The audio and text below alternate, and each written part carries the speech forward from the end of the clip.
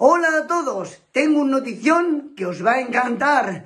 Planeta Fácil recibe el reconocimiento de Zero Project 2022 como práctica innovadora. ¡Toma ya! Que viva la información fácil de entender.